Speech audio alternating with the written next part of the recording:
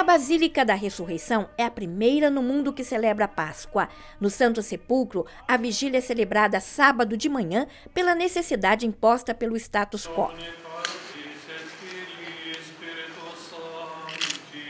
Uma centena de sacerdotes celebraram com o patriarca de Jerusalém, sua beatitude Dom Fuad Tual, a liturgia mais significativa de todo o ano. O rito do lucernário é realizado na porta da basílica, onde é aceso o círio pascal, com o fogo das lâmpadas que iluminam continuamente o túmulo de Jesus, como para iluminar, através da luz do ressuscitado, todos os povos. Toda a basílica iluminada espera a liturgia da palavra. Os peregrinos de muitas nacionalidades acompanham as sugestivas leituras, as maravilhas que o Senhor fez pelo seu povo. Sete leituras que proclamam a história do amor de Deus.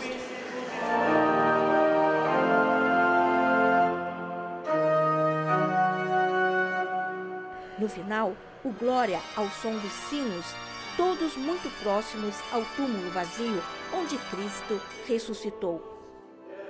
O Evangelho é proclamado próprio diante do Santo Sepulcro, anunciando a boa nova da salvação.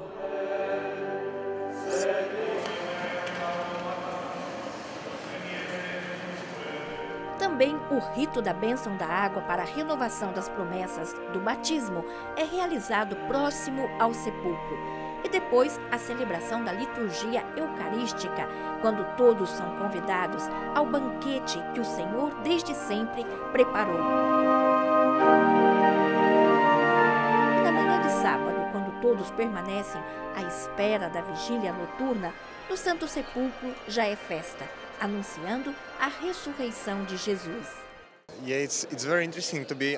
É muito interessante estar no lugar exato onde Jesus ressuscitou e tem coisas a dizer para mim ainda hoje.